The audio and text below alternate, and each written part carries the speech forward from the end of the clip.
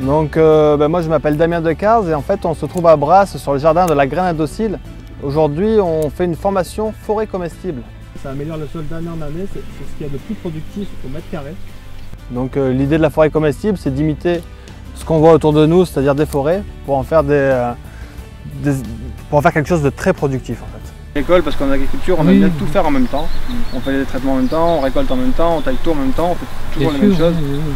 Et euh, on n'aime pas trop étaler les, les choses dans l'année. Oui, puis ils cherchent toujours un maximum de rendement. Et ils veulent mécaniser un maximum, la taille, ils sont pas très. Alors quand on plante une forêt comestible, on essaye de planter des espèces des grands arbres comme les pommiers qui deviennent de très grands arbres. Sur ces grands arbres, on peut très bien faire grimper des kiwis ou des vignes qui vont grimper dessus. Au pied de ces très grands arbres, on peut mettre des pêchers. À l'ombre de ces pêchers, on peut très bien mettre des, des groseilliers, des framboisiers. Au sol, on peut mettre des fraisiers. Donc on peut avoir sur euh, plusieurs étages une très grande productivité.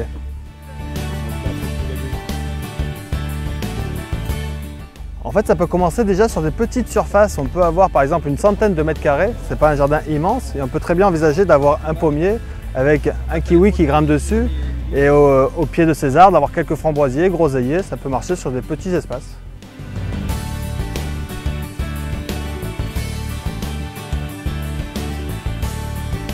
Nous, on propose régulièrement des formations sur la forêt comestible, mais aussi sur d'autres sujets qui, euh, qui englobent en fait, le jardinage naturel. Mais régulièrement, à Forêt Comestible, on fait des formations sur deux jours, une journée, et voire des, des formations d'une semaine sur la permaculture en général.